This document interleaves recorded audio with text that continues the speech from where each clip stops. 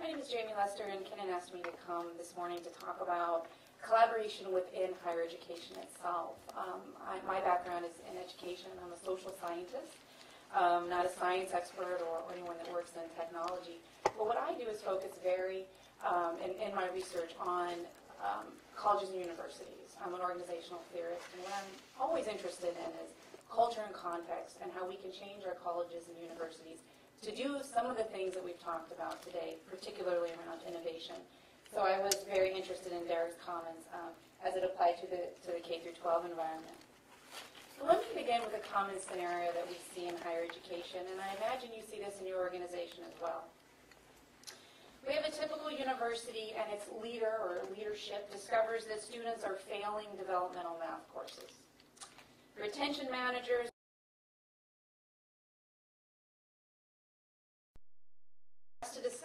issue and try to come up with a solution.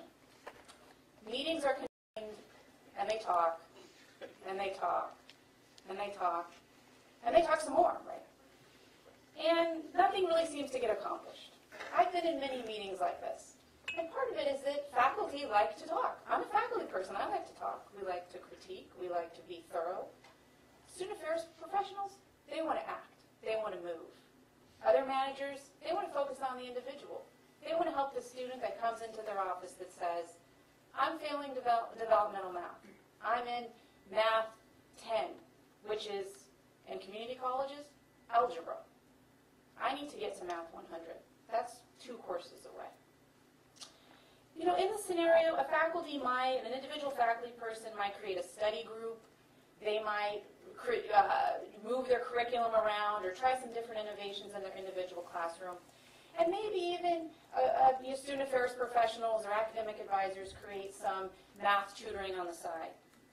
But the problem is that there's no communication across these efforts, and there's no integration across these efforts. They're done basically in isolation.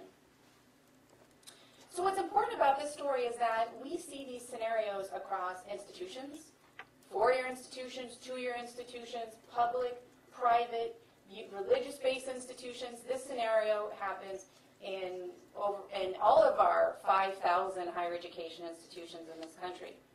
It also occurs across different initiatives. This was developmental math, but you name an initiative, you name something that we need to think about and to resolve in our institutions, and these scenarios, this scenario applies. We're challenged to find new ways to overcome the barriers and realizing the potential of collaboration. Yet we know that it has many advantages. So some of the work that I've used is by Mohrman, and Mohrman says, innovation occurs when different perspectives and knowledge bases are joined, resulting in the reframing of problems and solutions that would not have been likely or possible from within one perspective. We know from study after study that bureaucratic and hierarchical organizations reinforce routine practices following very strict policies and procedures no hot lunches when we have those tests. In Virginia, they're called SOLs, um, and they take all day. We know that if people are focused on these routines, that they will not question ineffective practices and policies, and they won't work to innovate. We also know that matrix organizations, uh, those that have cross-functional structures, and team-based organizations are encourage more interaction, information sharing, communication, collective problem solving, and that result in innovation and learning. So what I'm going to share with you today are two things. One is the challenges to collaboration that I have found and my co-author Adrianna Kezar found within higher education institutions. And these are very much interrelated challenges. They speak to the context, they speak to the culture, and they absolutely speak to the structure as well as the history of our colleges and universities. And then I'm going to briefly talk to you about a model, that, a proven model that we have found when we went to a variety of institutions of higher education who were known and who were effective at collaborating. And I'm very happy to say that my institution is one of those, which is one of the reasons I work there. um, and that's a three-stage model, and I'll just briefly touch upon it. There's certainly more details I can talk about um, in our less formal part of the, of the day. So the main challenges to collaborations are internal and external. Internal, we have colleges and universities that have more diverse students, additional technological demands, increased need for security and safety, and new skills needed for student success. but our processes have not really evolved. We really continue with outmoded structures that started hundreds of years ago when our universities were very small, they were somewhat simple in terms of their mission and their focus, and they were exclusive. There were a very small number of people who had access to these institutions. And now we have community colleges, for example, that are open access institutions. We also have things like specialization and professionalization of faculty, as well as of administrators. We've seen a growing number of professional administrators on our college campuses. No longer are leaders of our college campuses coming through the faculty ranks. Some of them come from business and industry, which was unprecedented 50 years ago.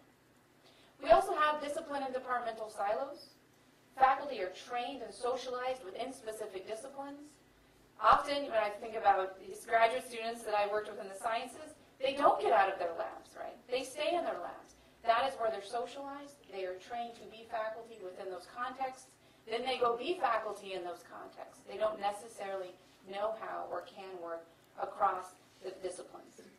We have reward systems that focus very much on specific forms of productivity. We have academic capitalism. I encourage you to read the work of Sheila Slaughter and Gary Rhoades. Faculty are rewarded for productivity. That means publishing in peer-reviewed places.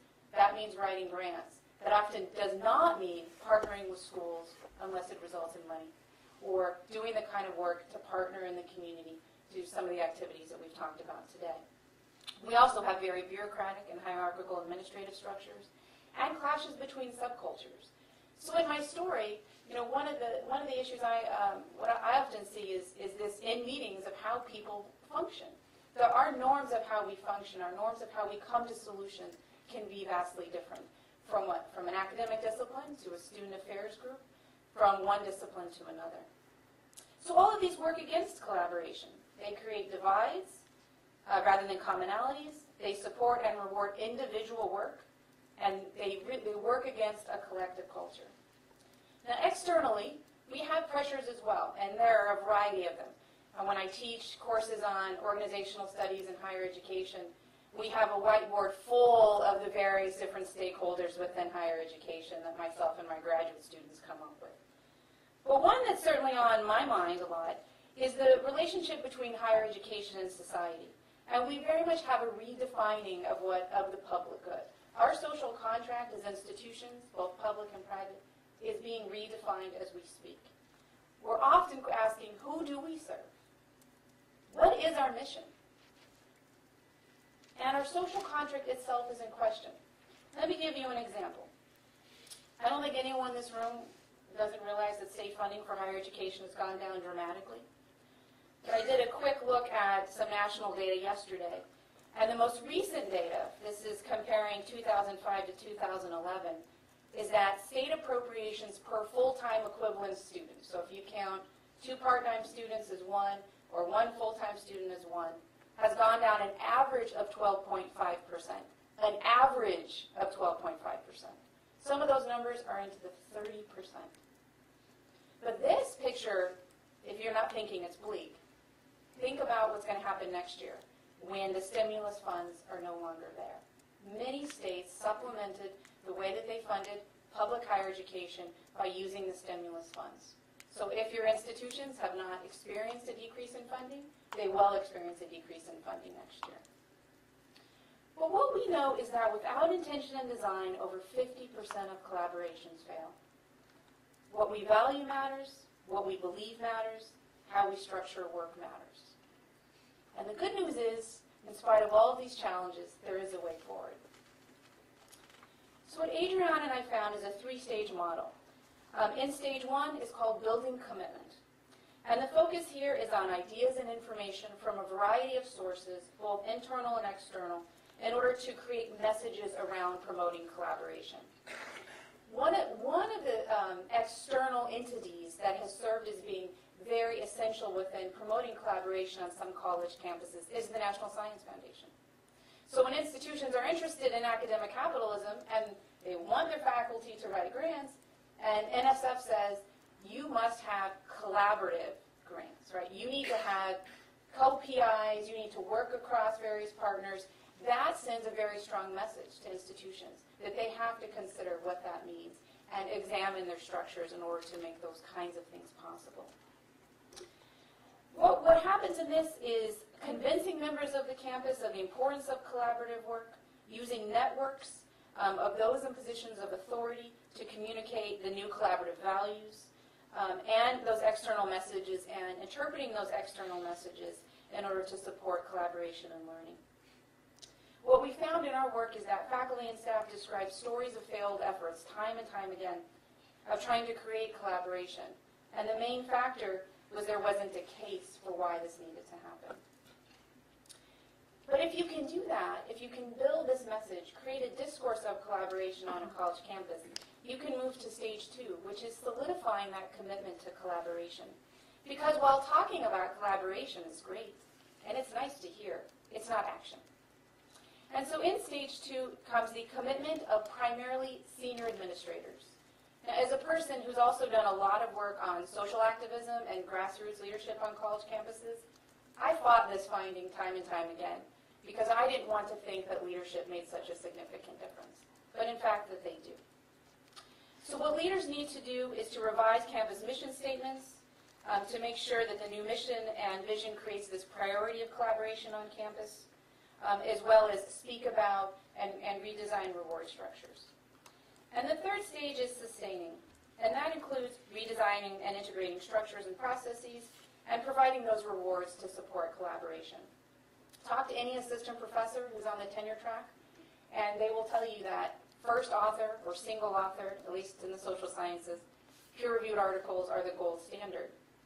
And in the sciences, I, I, won't, I won't claim to know what, what the situation is there. Some of you can speak to that. But we certainly know that tenure and promotion committees look at those kinds of things. So we need to think through those processes in order to truly be collaborative. But I'll end there um, and read a quote from a provost at one of our institutions, our collaborative institutions. This person said, the problem is that we keep trying to force collaborative innovations into a structure and culture that supports individual work. So we must be intentional. We must value collaboration. Let me say it again. We must value collaboration. And we must change our structures, our cultures, and our processes to promote collaboration in higher education.